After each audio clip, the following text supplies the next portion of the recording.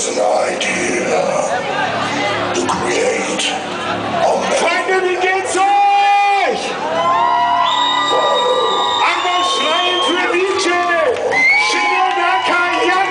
Dance floor. So prepare yourself for a stunning